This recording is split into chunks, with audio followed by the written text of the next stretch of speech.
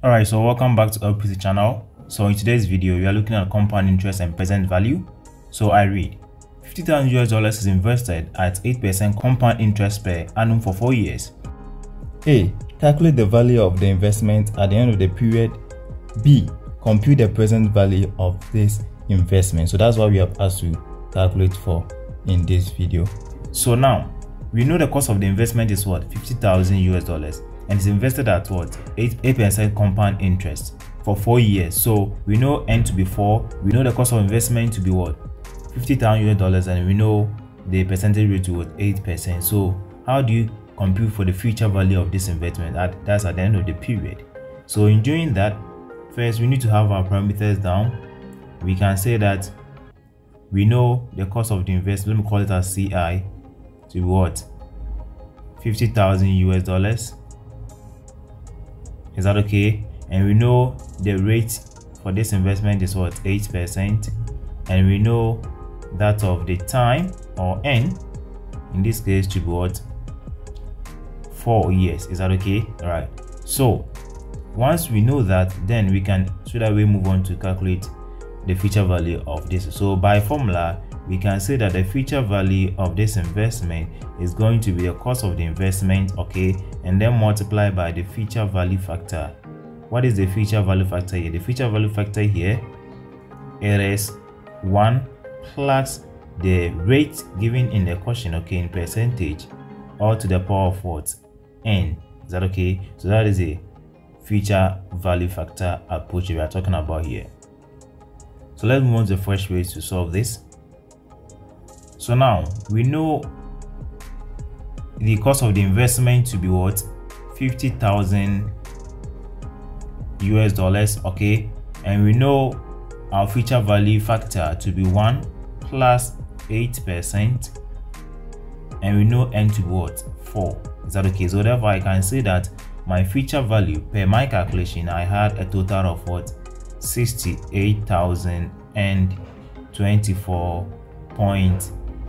49 US dollars. That's what I got to be the future value of what 50,000 as a cost of investment invested for four years at the rate of what 8% compounded annually. Is that okay? So that is kind of my future value. So that is the I of the problem. So II, we are asked to compute for the present value of this investment. So to compute for the present value of this investment, it is actually the discounted of future cash flow, which is what is 8,024.1. 49 US dollars. So you want to know the value of the investment now. What is the present value of the investment now? We want to know the worth of the investment now.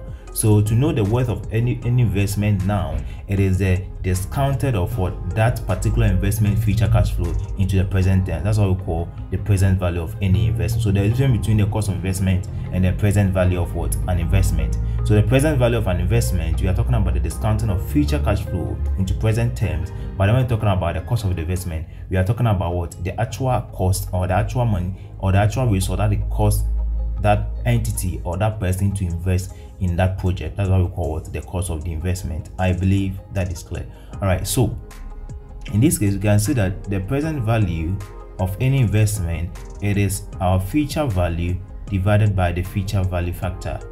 Future value factor.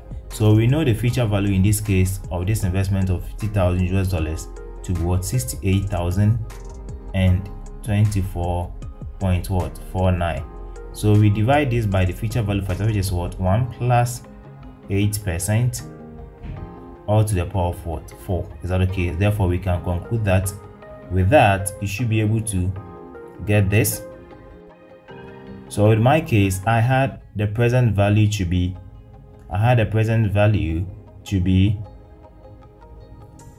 50,000 50,000 point zero three.